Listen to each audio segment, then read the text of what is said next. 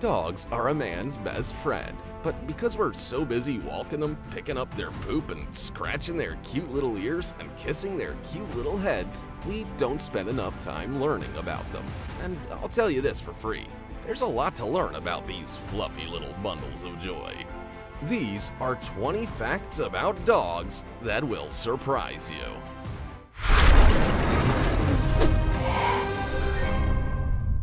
Number 20. Dogs visiting the bathroom.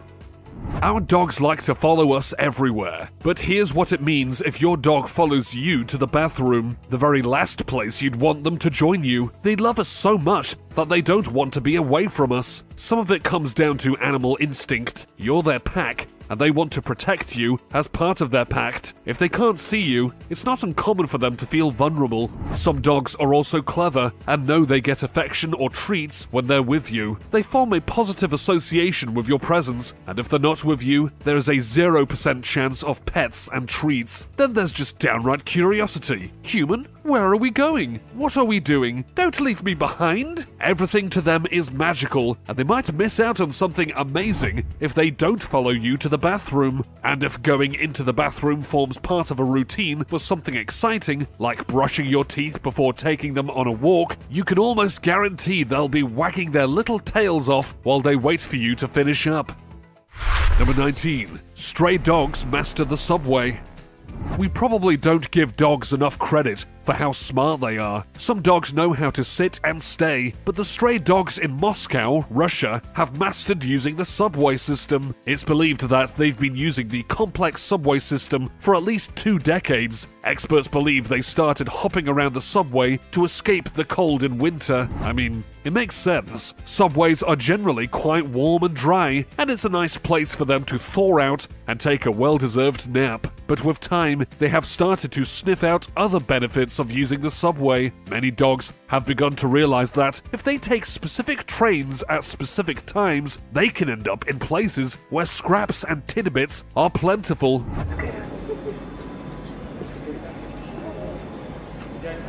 It's believed that they can identify the best routes based on smells, sounds, signs, shapes, and symbols. Some dogs will wait patiently for the doors to open before hopping aboard, while others will leap on at the last minute to reduce the chances of being removed. Some have even learned to sit on the roof and cling to the sides. 10 out of 10. Smart boys and girls. Number 18. They can live for 30 years. In an ideal world, dogs would live forever. As most dog owners know, saying goodbye to your faithful companion is one of the hardest things you'll ever do in life, and even harder is knowing that the clock counts down awfully quickly, with most dogs living an average of 10 to 13 years. But that's not to say your dog won't live longer, they can actually live up to nearly 30 years. The problem is that we don't know which ones will. The oldest dog ever recorded was Bluey, an Australian cattle dog that lived until he was 29 years, 5 months. Another dog called Chilla reportedly lived until they were 32, but their age couldn't be verified. Chilla was an Australian cattle dog crossed with a Labrador. Could the secret to a long lifespan be in the Australian cattle dog? A 100 dog study put the average lifespan of this breed at 13.41 years, so perhaps not. There are also other old dogs that weren't Australian cattle dogs, like a Beagle, Terrier, and Dachshund mix named Max, who lived for 29 years and 9 months, and a Labrador cross from the UK named Bella, who lived up to the ripe old age of 29. Many factors can play a part in how long our furry friends are with us, such as genetics, the level of care they receive, and their diet and weight. Scientists need to hurry up and find the elixir for life because this isn't fair. Number 17. Dogs help us live longer. As if dogs didn't already do so much for us, did you know that they can also make us live longer? They are too pure for this world. And we're not just talking out of our tails here. Actual scientific studies, which the American Heart Association was involved with, found that you might live a longer and happier life if you owned dogs. Overall, dog owners tend to recover better from significant health events like stroke and heart attack, especially if they live by themselves. And it all comes down to how happy they make us and how active they force us to be. When we interact with dogs, it's pretty hard not to be happy. Our bodies produce more happy hormones like serotonin, dopamine, and oxytocin. We then feel better and keep our stress hormone, cortisol, to a minimum. Some people also have lower blood pressure, lower cholesterol, and fewer depressive episodes. Then there's the fitness factor. Dog owners typically get more exercise than people who don't own dogs. We walk them in our neighborhoods, take them to beaches and rivers, and visit local dog parks. Here, we also get our social fix, potentially reducing social anxiety and loneliness. Speaking of socials, have you liked this video and subscribed to our channel? Do it now, or your dog might start loving someone else more than you. Number 16. Smaller dogs live longer. We're not saying there aren't outliers and that some big dogs live longer than little dogs, but as a general rule, little dogs do tend to live longer, and heartbreakingly, it's most likely our fault. A study published in the American Naturalist found that our selective breeding of dogs to make them larger puts them at a higher risk of cancer. We breed them to be larger in such a small space of time that they might have an evolutionary lag. This means that they haven't been able to develop natural defenses against cancer fast enough. In studies, Chihuahuas could live for up to around 17 years, while breeds like Great Danes only lived 8 to 10 years. They don't necessarily age quicker, but the more the body weight increases, the higher the cancer rates do too. It's absolutely devastating. We've done this. According to study co author Jack Da Silva, an evolutionary geneticist, most of the approximately 400 dog breeds we have today have been developed in the last 200 years. They simply haven't had a chance to create and fine tune their cancer defense mechanisms to match their size. The good news is that it doesn't mean that they never will. With time, selective breeding, and medical advancements, there may come a time when big dogs are afforded the same lifespan as small dogs. Number 15. Dogs feel jealousy. You've probably already witnessed this for yourself, but dogs feel jealousy. Interestingly, scientists don't always think it was possible. They didn't know dogs were capable of complex secondary emotions like envy, jealousy, and shame, even though many dog owners have witnessed it firsthand. Slowly, science is catching up with what dog owners have been saying all along. Yes, they do get jealous. Scientists started observing it in mothers with their puppies. As soon as their puppies became somewhat independent, their mothers would show signs that they didn't like the attention being diverted away from them to their offspring. It's not uncommon for some new mothers to start ignoring their puppies and exclude them from the nest. University of Vienna researchers also set up an experiment that, in my opinion, made them absolute monsters to these sweet angels. They had two dogs perform the same trick, but only one got a reward. When the unrewarded dog realized it wasn't getting any recognition, it stopped performing the task and showed annoyance and stress. And then there's what we notice ourselves. If we pat one dog, another comes and tries to force itself in front of the other dog to get the pat. If we play with one dog, the other one wants your full attention. They're a bit like kids, really. Number 14. Storms can hurt dogs. Not all dogs react to stormy weather. Some can sleep through it without any issues and becomes fearful during a storm. Have you ever wondered why? Well, it could have something to do with the fact that some experts believe stormy weather can be painful. The sound frequencies during some storm events can hurt their ears. There is also static electricity that can accumulate in their fur, which can be uncomfortable. Those points aside, the noise and not knowing what's causing it can also cause them to act out of character character. Some dogs have extreme noise phobias and experience severe symptoms like panting, hiding, drooling, whining, and pacing. Some dogs even become destructive and destroy things in your house. It's also not uncommon for dogs to be so downright terrified of storms and even fireworks that they hurt themselves to try to escape the noises. They jump fences and go through windows and doors just to experience some kind of relief from what they're feeling. If your dog has an extreme noise phobia, there are some things you can do to help them. One family's dog was so destructive and terrified that they used to schedule time off work for when storms were due to arrive. With help from their vet, they devised a management plan that made it much easier for their dog to weather the storms. Number 13. Dogs can smell your feelings.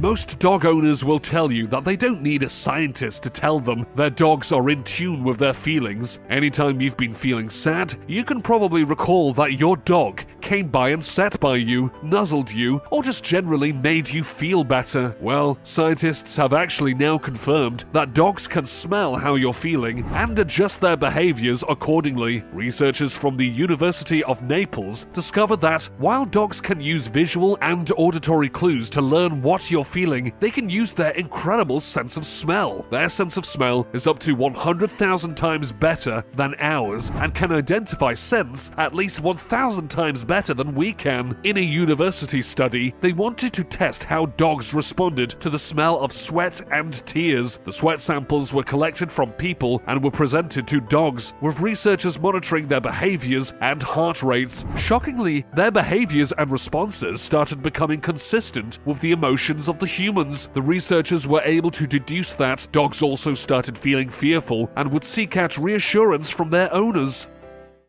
Number 12. Dogs don't like hugs.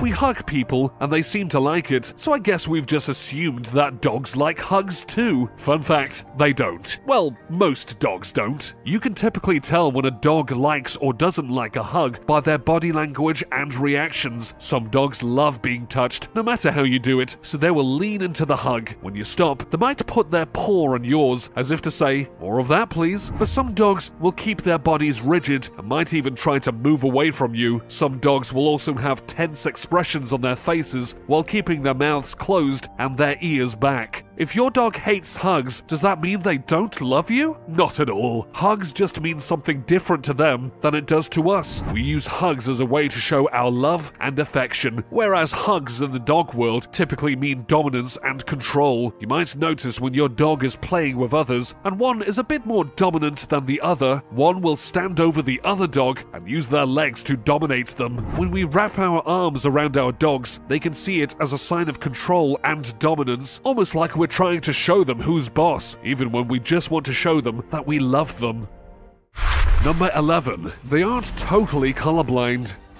A long time ago, a supposed expert said that dogs could only see in black and white. That theory stuck, and we just automatically assumed that our dogs couldn't see any color at all. That's not entirely accurate. Dogs can see color, they just don't see it like we do. Humans have three color receptors, whereas dogs have two, known as cones. With three color receptors, we can see a broad range of colors, whereas dogs can only see a limited color range. They can only see a combination of blue and yellow. So when we see a bright red ball, dogs see a yellowy brown ball. Place a yellow ball and a red ball side by side, and they wouldn't be able to tell them apart. And lush grass they're playing on? It looks dead and dehydrated to them. The way dogs see is also a bit different from us, as dogs are far more nearsighted. We might see an object at the same distance as a dog, and it's crisp to us and blurry to dogs. Number 10. Whiskers are radar sensors. You probably haven't given your dog's whiskers much thought. They've always been there, and were there right from when they were born. But after learning about everything whiskers can do, you might pay closer attention to them from now on. Whiskers develop from hair follicles just like the rest of your dog's fur, but they are much coarser and have much deeper roots. They are mostly present around their eyes, chin, and upper lip, but exact placement can vary from breed to breed. Unlike the rest of your dog's fur, whiskers are also super sensitive because the follicles they come from have nerves and blood vessels. Experts believe that whiskers are just as sensitive as our fingertips. But why do they need them to be? Well, dogs use their whiskers for everything in their daily life. They help them navigate their environments and provide additional sensory input. They can detect air changes, movement, and objects and help them learn details about things nearby, like their shape, size, and speed. Essentially, whiskers are radar sensors that help them truly see the world around them. Whiskers can even protect dogs. If the tiniest particles fall on them, they can shake them off to prevent dust or debris from entering their eyes. They can use their whiskers to know whether a gap is large enough for them to go through. Number 9. They're as smart as toddlers. You probably already know your dog is intelligent. They seem to know when it's almost dinner time or when you're getting ready to take them for a walk. So it's perhaps not surprising to learn that researchers believe most dogs are as bright as the average two year old child, with some a little more intelligent than most. Researchers conducted canine IQ tests with math, language, socializing, and emotions. They found that the average dog knew 165 words, signals, and gestures, putting them on par with the average two year old child. However, some dogs in the top 20% of intelligence could learn up to 250 words. The smartest dogs were Border Collies, Poodles, and German Shepherds, who were all closer in brilliance to a two and a half year old. But when it came to math, dogs were surprisingly clever. While their language skills were closer to a toddler, they were actually at a three to four year old level with math. They could ace arithmetic tests when treats were used and had a basic enough understanding to count to four or five. Dogs also show spatial problem solving skills and basic emotions. They can locate items of value, like toys and treats, and work out how to find the fastest way to get to their favorite share. Number 8. Dogs are left or right pawed. We are left and right handed, so I guess it makes sense that dogs can be left or right pawed. However, while most humans are right handed, dogs can pretty much be one or the other. Some can also be ambilateral, which is the same as ambidextrous in humans. They are comfortable using one paw the same as the other. But how do you even find out whether your dog is left or right pawed? After all, it's not like they throw balls, use cutlery, or write. Researchers use a number of activities, with the most popular being the Kong test. The Kong test involves the use of a dog Kong, which is a hollow rubber toy. They stuff it with food, and the dogs must hold the Kong still while they get the food out of it. Researchers will then compare the number of times they use either paw to hold the toy. Often, there's no discernible difference, meaning quite a large number of dogs are, are ambilateral. They might also use the first stepping test. This is when researchers measure which paw dogs use to take their first step from a standing position. You don't need a scientist to determine whether your dog is left or right pawed. Just do these tests at home. Number 7. Dogs don't feel guilt. We've all seen those funny videos of dogs looking downright guilty after their beds miraculously exploded or food went mysteriously missing from their owners' plates. Definitely looks like guilt, but is it actually guilt? Probably not. Most vets seem to think that it's just anthropomorphism when we attribute our human characteristics to our dogs or other animals. It looks like guilt to us, but it's actually not. A 2009 study found that the guilt expression of dogs relates more to the circumstance of what they did rather than them feeling bad about it. For example, a dog might show what we perceive as guilty body language when we tell them off. If you were to use the same language or tone of voice when they haven't done anything wrong, you might find that they still act as though they're guilty. And even if you don't scold them every time they've done something wrong, they might act guilty when they associate past similar instances with this one. They expect to be scolded, so they preemptively show the same signs. Typically, those signs are a tucked tail, licking, flattened ears, avoiding eye contact, and cowering or hunching. Experts believe that these are stress and fear signs rather than signs of guilt. Number 6. Dogs dream.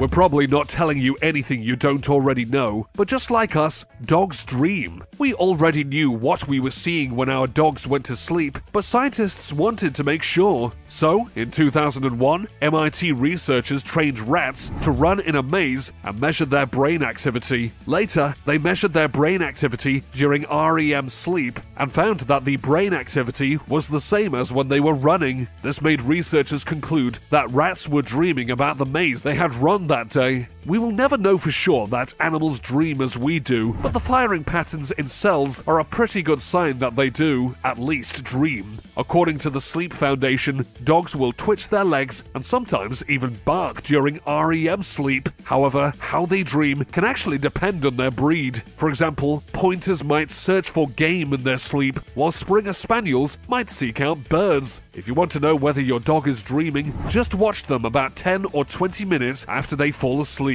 They've already started to dream if you can see their eyes flickering. Number 5. Aggression with male walkers.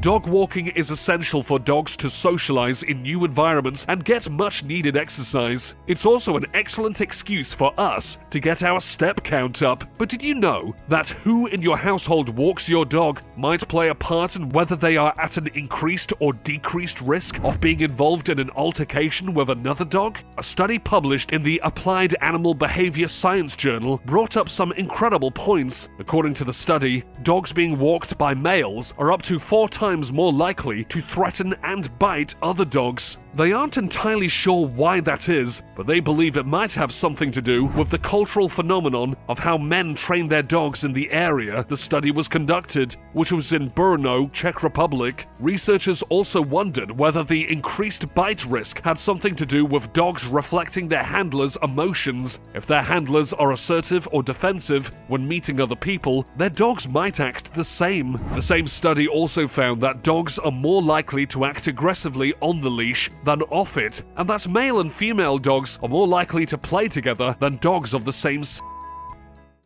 Number 4. Dogs cock legs for dominance.